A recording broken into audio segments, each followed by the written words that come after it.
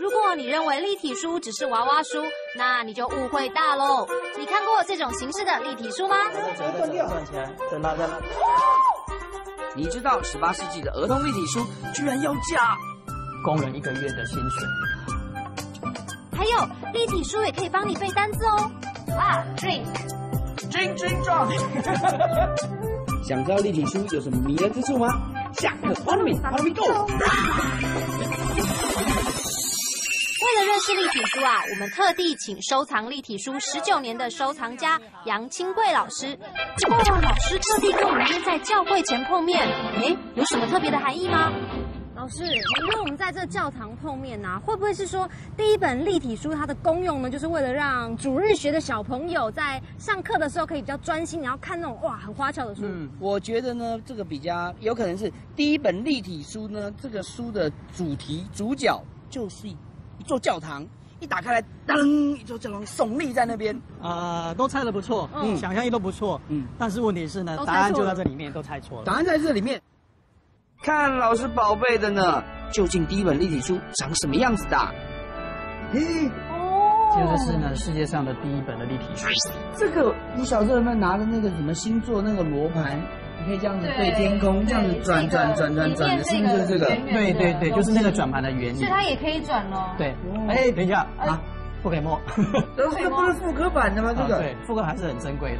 这世界上的第一本立体书呢，在十三世纪的时候，由这位英国的修道士，嗯哦，就马修派瑞斯，嗯他所发明的。这个跟什么历法有关吗？啊，对，没有错，就很像他们历法。嗯所以呢，以前要查询这个资讯的时候呢，很麻烦，因为它散落在不同的大部头里面的书。然后今天对，为了找一个哦，像耶诞节啦、平安夜要做什么样的祭奠啊嗯嗯，嗯需要爬楼梯去把那本书搬一下。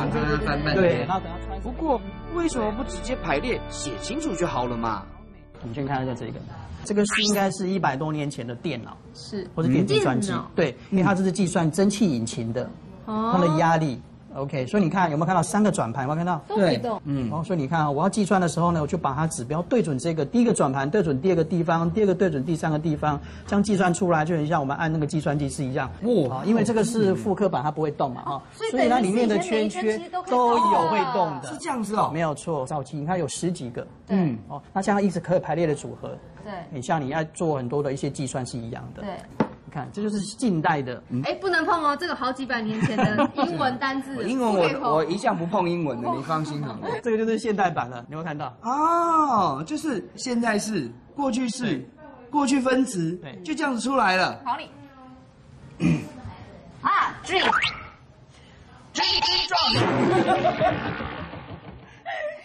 除了转盘技术之外，后来啊，有人发明以翻的技法来整理科学百科，像是这本一百年前德国出版的医学百科，就是利用翻的技法来解剖人体的哦。所以老师没有想到，原来这个你说立体书是给大人看的嘞。对，十八世纪的时候呢，才会真的有童书的发现。嗯，所以在十八到底立体书怎么跟童书开始挂钩的呢？首先呢、得先感谢英国工业革命，产生有钱的中产阶级。哦，我很有钱，我希望我的小朋友玩到更不一样的玩具。接着呢，得感谢童话故事从法国漂洋过海来到了英国。我们英国人也可以读到小红帽跟睡美人喽。最后要感谢德国发明彩色石板印刷。所以脑筋动得快的出版商开始制作童书的立体书喽。哎有钱的玩意儿所以是应该是奢侈品很棒，对不对？看起来应该很厉害了哦。非常的奢侈，因为当初一个工人一个月的薪水，一本书就是一个工人一个月的薪水。水。哦，那一定要来看一下、对呀、老师要带我们去看的老童书是陈列在立体书展里，而且啊，这个展还是老师策划的呢。各位为你们隆重介绍儿童阅读史上重大的一步。当当啊，嗯，怎么怎么就这样而已啊？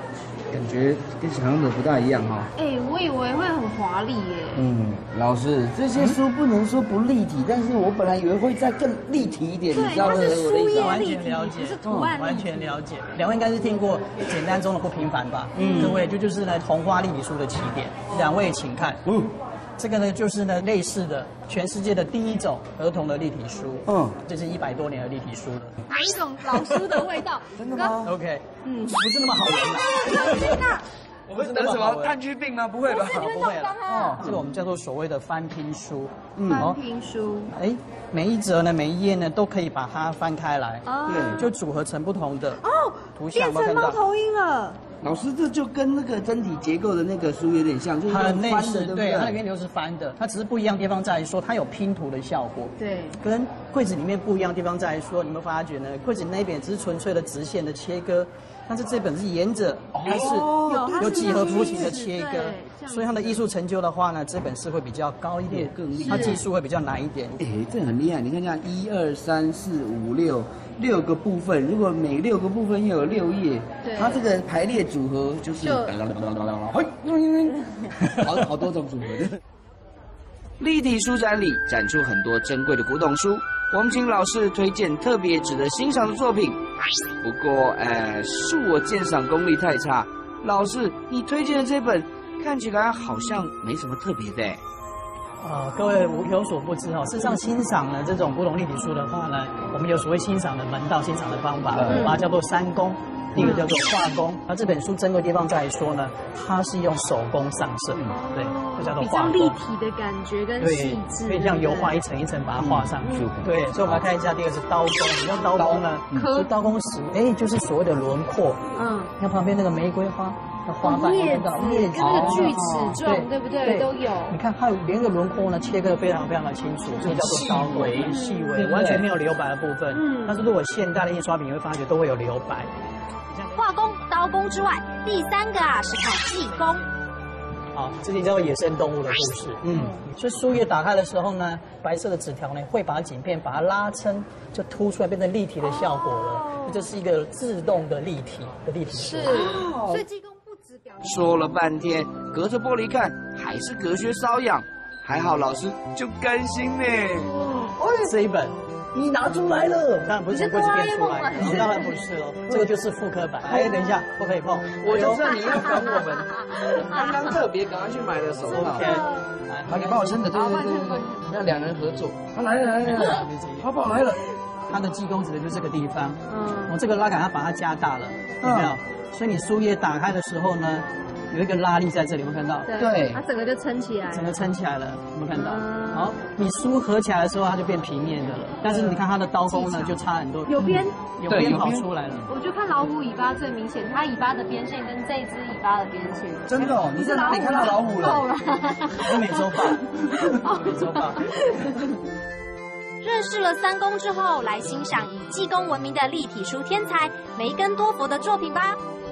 下面它那个拉杆有没有看到？那个拉杆一拉的时候呢，所有有关节的地方都会联动。哦，这叫起啊这叫做多重联动的一个可动书。据说啊，这位天才原本是漫画家，有年耶诞节突发奇想，替儿子做了让漫画动起来的卡片，被出版商赏识，而投入了立体书创作。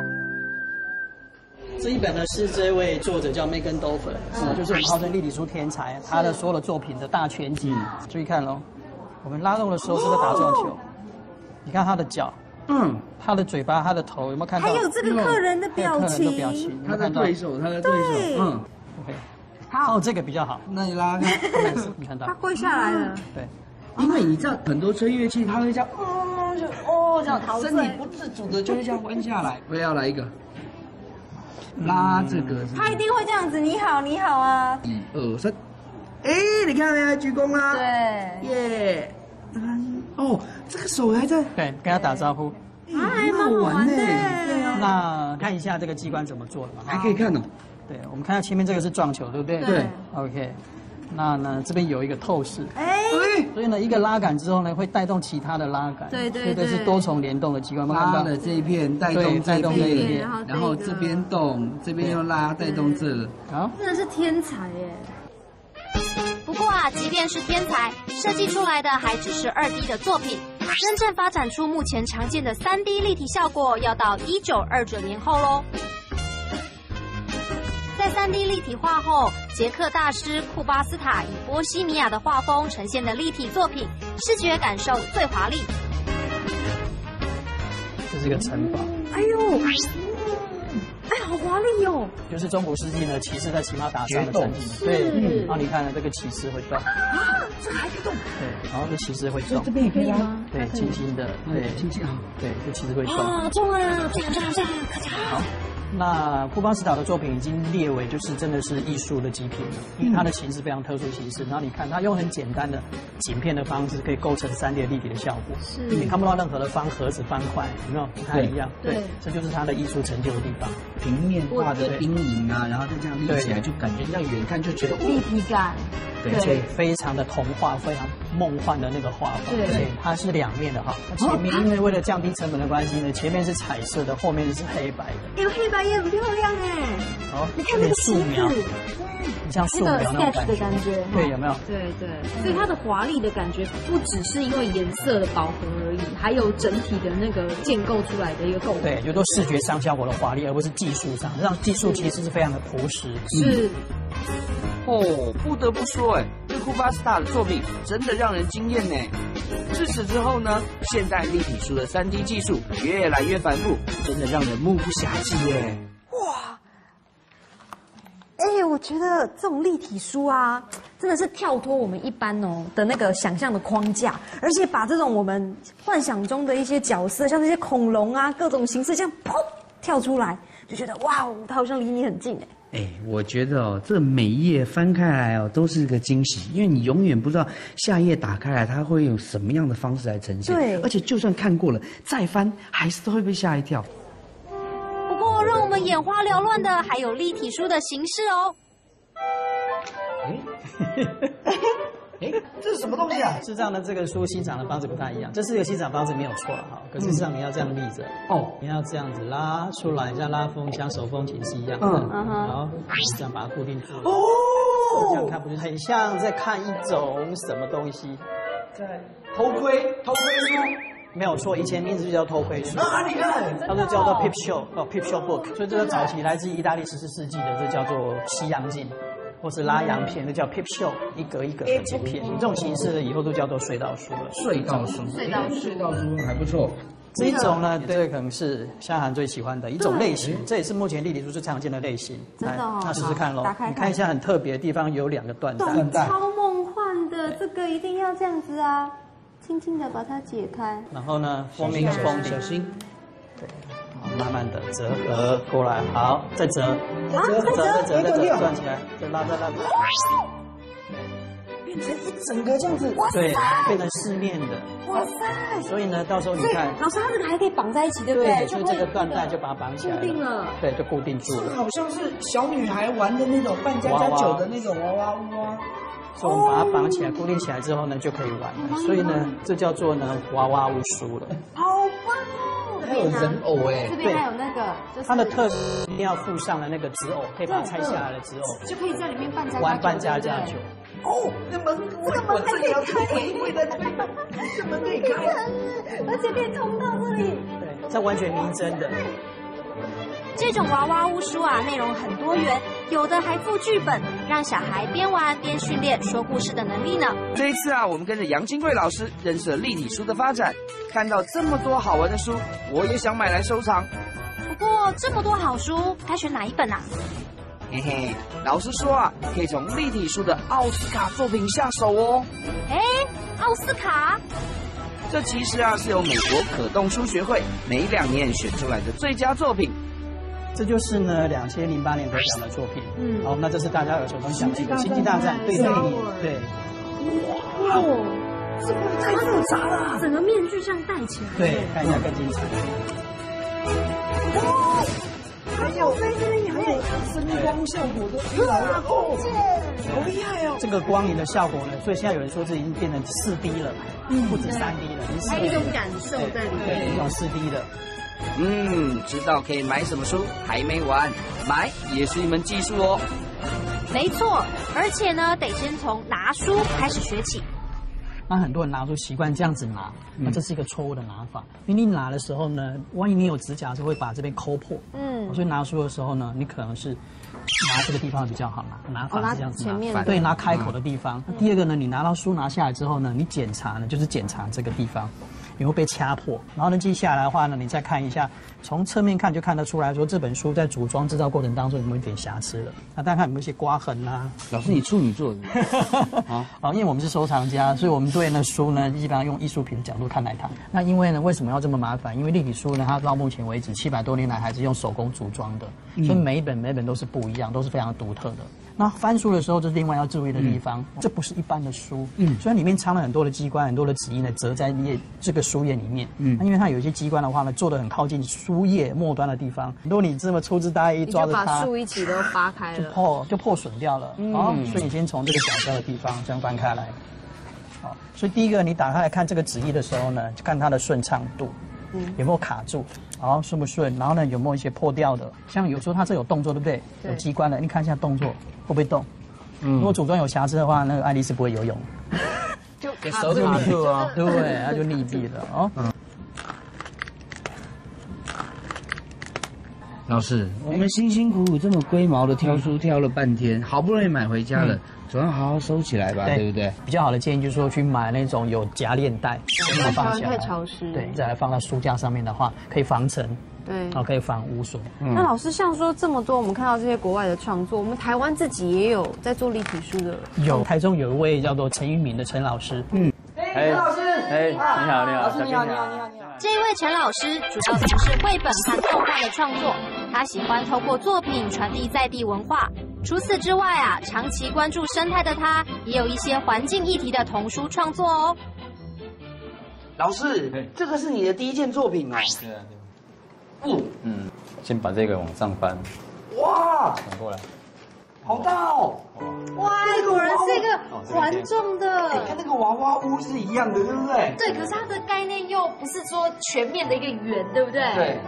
然后呢，它整个空间感啊，嗯完全就有那个掌中戏系统的感觉。后台，对，啊，这就是你看，往后的附带一本那个中英对照本的书，嗯那它里面有介绍长东西。